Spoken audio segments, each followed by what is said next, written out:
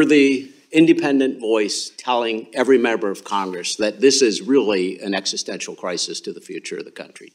Is that correct? No, I think that's fair. And I, as you said, I would look at other countries that have failed this challenge